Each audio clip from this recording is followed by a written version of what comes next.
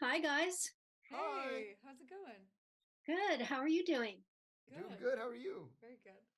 It's so incredible that they got people from the first, like from the movie, to recreate their roles, like Warwick Davis and Joanne as Sorsha. Yeah. Yeah. Yeah, I know it's incredible.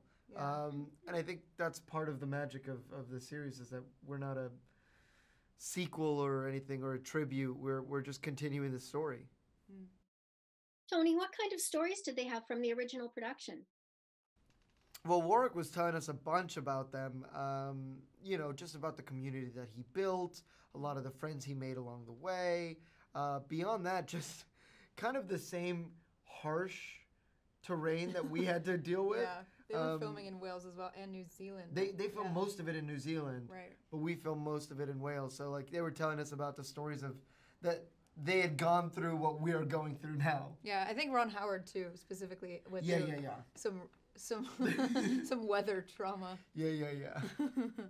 This is such a great adventure, and you all had very physical roles. What was the most physically demanding scene for you, Ruby? Oh, that's a good question. Honestly, I mean, ah, that's a good question because literally every every episode I think has a has a really challenging For you, yeah. fight sequence. Yeah, I think every every episode had something for me to really test my abilities physically. um, probably the hardest one. Me and Erin had this one fight where we had to get everything in sync, and that was really that was really difficult. We worked really hard on Ah. that though, and we finally really got it, and that was really satisfying. What was trickier, learning to sword fight or learning to ride a horse? For me, ride a horse. that was fun to watch. yeah, yeah, yeah. I think I was.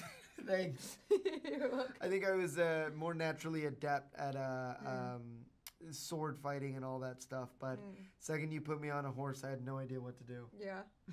Uh, that, mine was, I think all of it was very physically demanding, and that was just new to me. Yeah, but you were also in just good at all of it. Well, hey, thanks, Tony. You're welcome. thanks. If there's a second season, what would you like to see happen with your characters? Oh, gosh. I would love to see Graydon reflect upon himself a little bit more Mm. and be a little bit more open and kind of, you know, introspectively open with the rest of the friends. But I'd love him to do it in Cabo.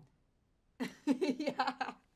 I second that. Yeah. Honestly, I honestly would like to see us have more Yeah, I actually genuinely would because love to. I think we talked the first episode. and then never talked. We spent again. the rest of the time together. Yeah, tr- but I don't think we ever converse again. I know you were saying it was kind of harsh, the terrain, but what was the best thing about filming in Wales for you, Ruby? Hmm. The best thing about filming in Wales, I think it was definitely just the opportunity to get to live somewhere new. We spent like nine months there, almost 10, and Mhm. that was just, I mean, just transplanting yourself and your whole life and your whole world to somewhere that you've never been before, around people that you've never met before was i mean it obviously came with its challenges but that was a really cool opportunity to like get to know a whole new city and get to travel around rural wales and get to know a bunch of new people. That that was really cool. Really taught me a lot. yeah Sweet. it's true And finally, for both of you, what would be your dream role? dream role. Dream role. Wow. Um, oh my god That's a tough one.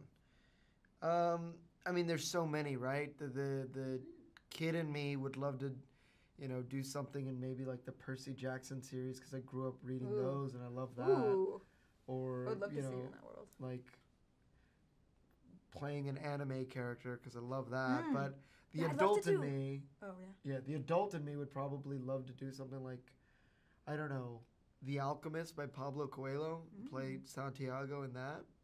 wow What That's about you? beautiful. You said something after I said anime. no i definitely would love to get into like voiceover work and animation i think that would be really cool You have a great voice for yeah it. hey th- you too Yeah, you i do mean a you great do it Scooby impression too. oh god i think you're talking about yourself no, no, no. You were doing it. Give us a, give us a little taste. Will you do it together? Yeah, ready? Okay. No, you're not gonna do it. I am gonna Will do it. actually? Yeah, I'll do it. Okay, one. Two. What are we saying? I don't know. Whatever you want to say. Okay, one, two, three. Raggy. you Aw, little Scoob. twerp. Aw, Scoob.